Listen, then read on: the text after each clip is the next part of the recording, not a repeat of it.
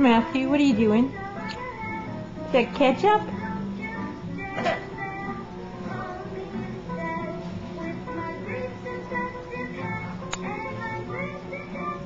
Is that good for your skin?